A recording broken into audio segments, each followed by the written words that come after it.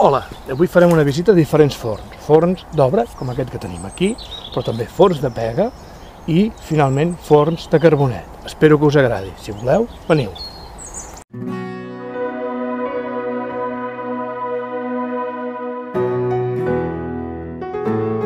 Som a la Garriga, concretament al forn de Cal Oliveró. Aquí, al costat del forn del segle XVIII que acabem de veure anteriorment, apareixen aquestes restes d'un forn d'obra, segurament d'època ibèrica o romana. Veiem els forats que constitueixen la fumarola i la part inferior on es feia el foc.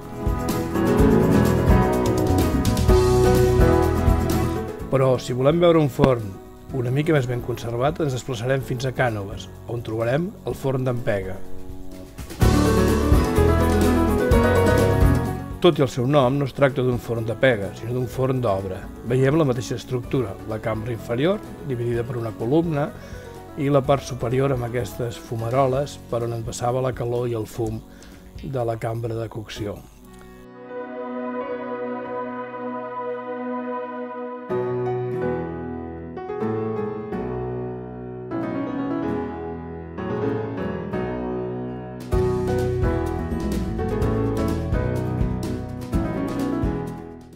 Som a Can Geroni, a Vigues i Riells. El que estem veient és el forn aquest d'estructura ibero-romana i concretament estem veient la part superior. Aquí eh, és on anirien les peces que s'havien de coure.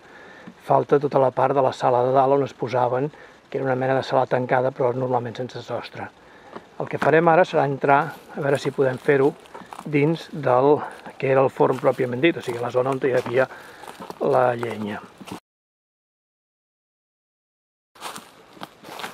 Aquí mateix, al bosc de Can Geroni, a escassos metres del que és el forn que hem vist abans, es troba aquest altre forn que recorda una mica, amb perdó, la caldera de Pere Botera, és dir, una, una mena d'olla arrodonida. Es tracta, pel que està catalogat i pel que sabem, d'un forn de, de pega, eh, concretament dels forns típics que no sabem de quina època eren, segur que medievals, potser anteriors, no se sap ben bé de quina època era. A Vigues eh, hi ha dos forns més, ja tocant el terme de Santa Eulàlia de Ronçana.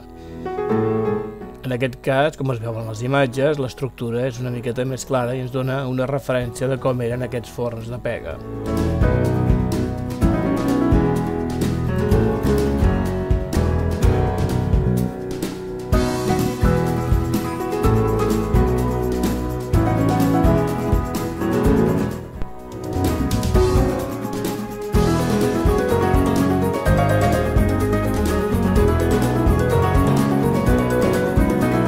Però el lloc on possiblement es conserven més ben conservats de qualsevol altre lloc és a Can Valls, a Olzinelles, en terme de Sant Celoni. Aquí apareixen els tres forns que hem vist, dos rebentats i un que està pràcticament complet. Un cartell diu que són del segle VIII o IX, però segurament no hi ha res cert i, i definitiu en aquesta cronologia.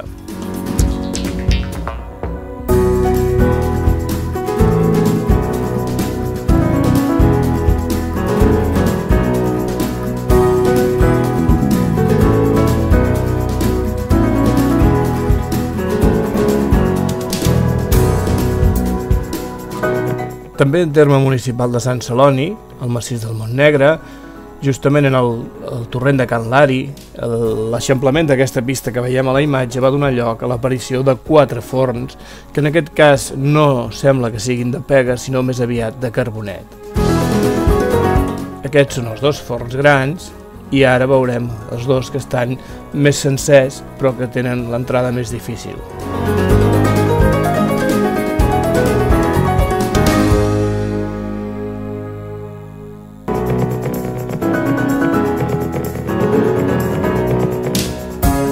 L'interior s'observa com ha estat tallat artificialment i a la part superior hi ha una petita xamaneia que ara veurem amb més detall.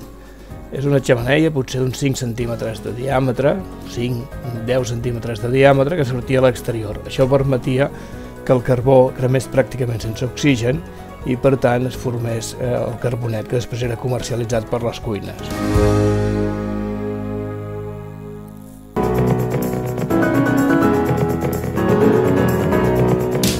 I això està tot. Moltes gràcies per la vostra atenció.